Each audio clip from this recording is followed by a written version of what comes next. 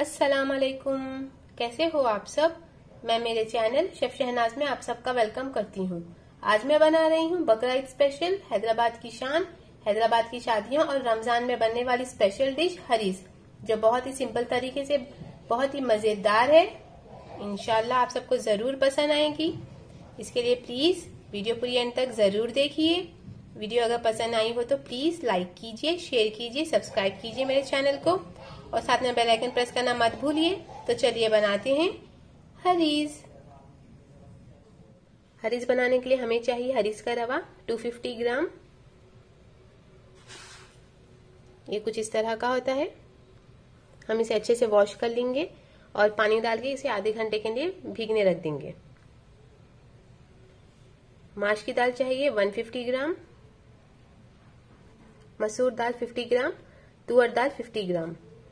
तुअर दाल और मसूर की दाल को हम माछ दाल में डाल के अच्छे से मिक्स कर लेंगे।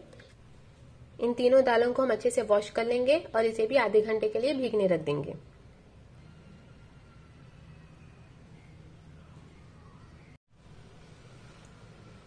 आधा घंटा हो गया है हरीस का रवा और दाल को भीगे हुए। चलिए, हम इस दाल को और रवा को बॉईल कर लेंगे। दाल को कुकर में डालेंगे इसमें थोड़ा सा नमक डालेंगे और दाल को गला लेंगे। हरीज के रवे में भी थोड़ा सा नमक डालेंगे और इसे भी पका लेंगे। रवे में हम बीच बीच में ऐसा चमचा हिलाते रहेंगे, वरना रवे को दाग लग सकता है।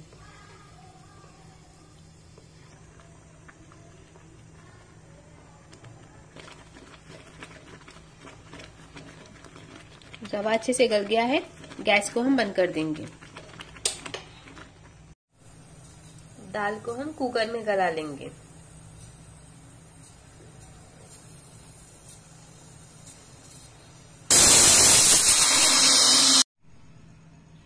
दाल भी अच्छे से गल गई है, इसे साइड में रख लेंगे।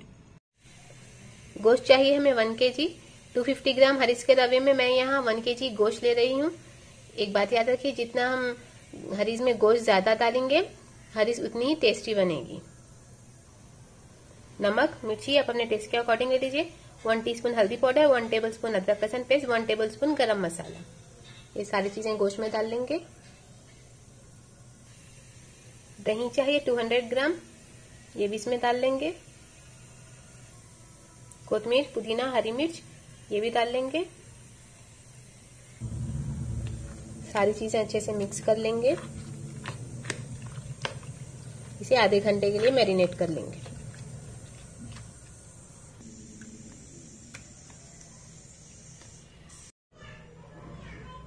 गोश्त मैरिनेट हो गया है। इसमें हम 30 एम क्रीम डालेंगे। क्रीम ऑप्शनल है। इसे मिक्स कर लेंगे।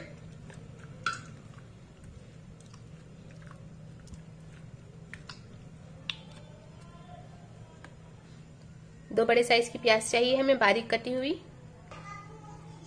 ऑयल अच्छे से गर्म हो गया है। इसमें हम प्याज डालेंगे।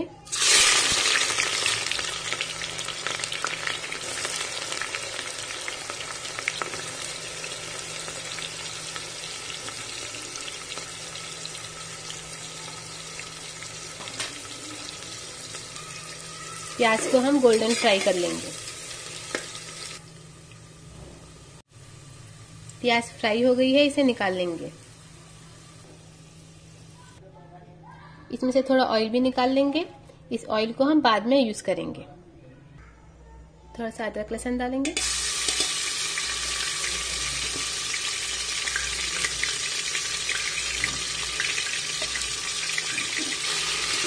इसे दो मिनट तक फ्राई करेंगे। अदरक लहसन फ्राई हो गया है, थोड़ी लाल मिर्च डालेंगे। इसे भी दो मिनट तक फ्राई करेंगे। मिर्ची भी फ्राई हो गई है, इसमें गोश्त डालेंगे।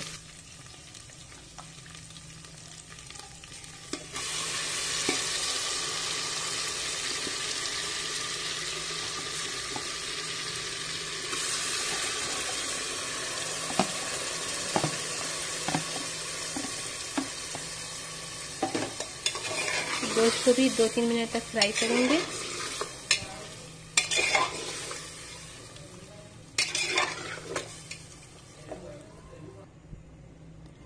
अब इसमें थोड़ा सा पानी डालेंगे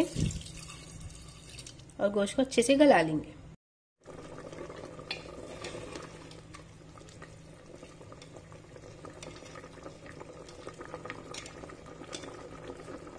गोश्त अच्छे से गल गया है। इसमें बॉईल की हुई दाल डालेंगे और हरीस का रवा भी डालेंगे।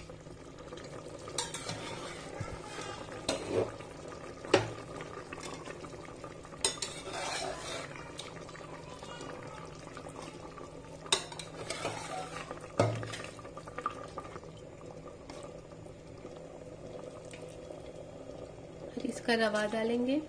बॉईल किया हुआ।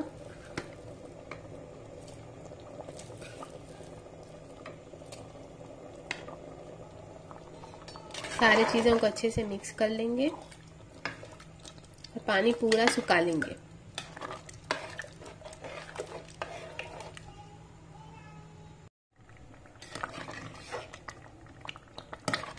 पानी अच्छे से सूख गया है। इसे ठंडा कर लेंगे। और बाद में इसे ग्राइंड कर लेंगे। गोश्त ठंडा होने के बाद इसे इस तरह से ग्राइंड कर लीजिए।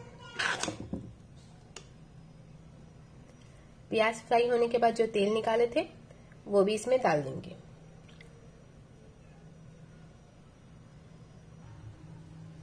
गैस ऑन करेंगे और इसे पाँच दस मिनट के लिए पका लेंगे।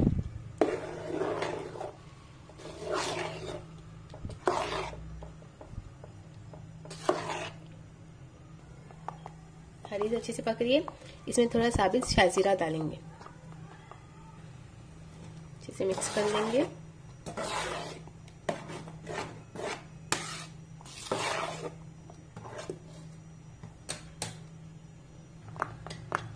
पाँच मिनट हो गए हैं। हरी अच्छे से पक गई है। चूल्हे को बंद कर देंगे। एक फ्राई पैन में टू टेबल स्पून घी डालेंगे। घी को अच्छे से मेल्ट कर लेंगे। घी अच्छे से मेल्ट हो गया है। इसमें 50 ग्राम काजू डालेंगे और इसे अच्छे से फ्राई कर लेंगे।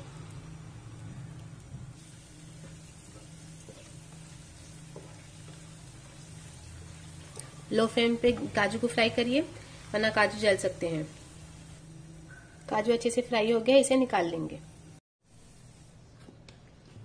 हरीस को हम एक प्लेट में निकालेंगे।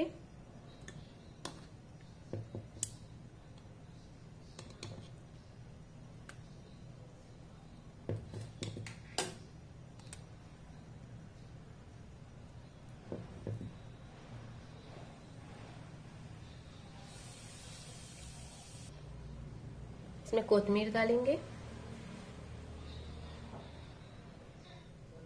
फ्राई की हुई प्याज डालेंगे।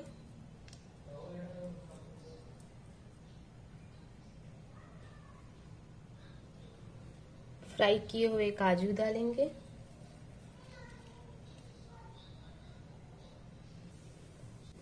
जिस घी से हमने काजू को फ्राई किया था, वो घी डालेंगे।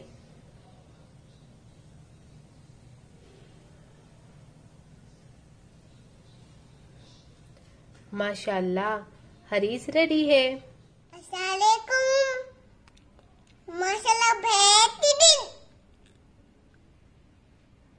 वीडियो अगर पसंद आई हो तो प्लीज़ लाइक कीजिए, शेयर कीजिए, सब्सक्राइब कीजिए मेरे चैनल को। इनशाला जल्द मिलेंगे एक और नई वीडियो के साथ। तब तक अपना और अपनी फैमिली का ख्याल रखिए। अल्लाह हाफिज।